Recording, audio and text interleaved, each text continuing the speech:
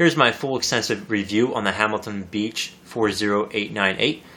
Some of you might be looking at it on Amazon.com. That is where I purchased mine. Um, here is the deposit filter. As you can see on the side here, it already broke, and it's just been a few days. I called them up, and uh, they said that we replace it. Um, it has to be the whole lid. Um, but let me go ahead and talk about the unit itself and show you how it works and show you um, some of the pros and cons of it. So here it is, um, the unit itself. It has uh, the base here where um, it heats it up. Um, on the bottom here, uh, it just goes right on top. Um, goes on there perfectly. And uh, this is the lid here. You can see that you have to push it in to release it. Let me show you how it goes in.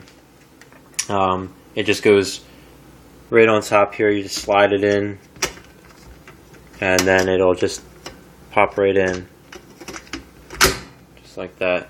And so you'll just this button here. You just press that in as you as you push it down, and then it'll lock in place, and it'll be good to go. Uh, it does say here that it's cool to the touch because of the double wall stainless steel. Uh, steel. But uh, let me tell you that it is not really cool to the touch. It's more of warm to hot.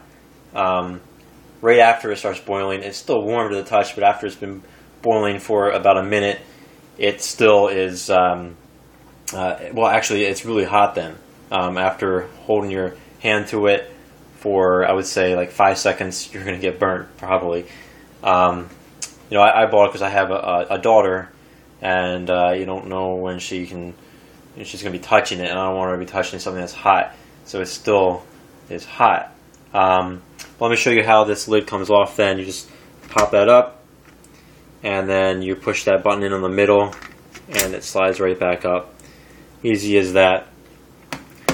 Uh, you know, it's not the most stylish um, one that I've seen. I know the Cuisinart one looks a lot better, and you can have the settings on it um, for a certain temperature but nonetheless, it's it's good. So let me go ahead and fill it up and show you. But also, you can see that there's a max line there. So just know that uh, you cannot fill it up as as uh, as far as it can go because it'll boil over, of course. But so uh, as far as the, the, usable water in it is not as uh, as much as what they say. I think it's uh, 64 ounces, but it's gonna be less than that. Just so you know. So let me go ahead and fill this up to that max line. And then I'll show you how this is. Okay. So I'll go ahead and put that on there, turn it on. The button on this on the bottom here, you just push it down.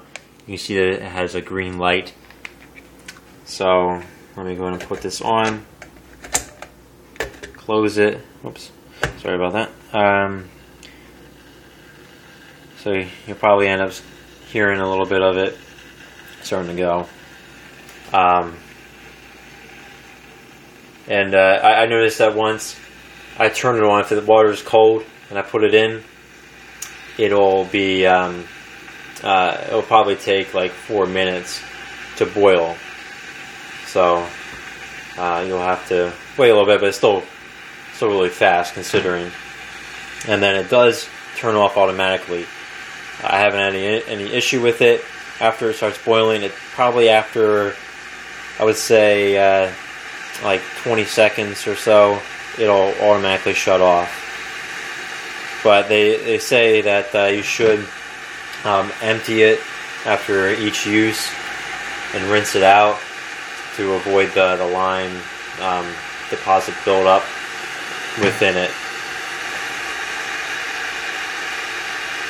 So, um, like I said, it, it is really hot when it starts to boil. It's starting to work right now. Um, don't exactly have to, to, to see it. Let me, open that up. Start to see some of the bubbles from it. Um, there you have it. Uh, you know, nothing really else to it nothing too fancy with it. Of course, this is plastic, and the lid is, is plastic. And uh, they, they did say, though, with how hot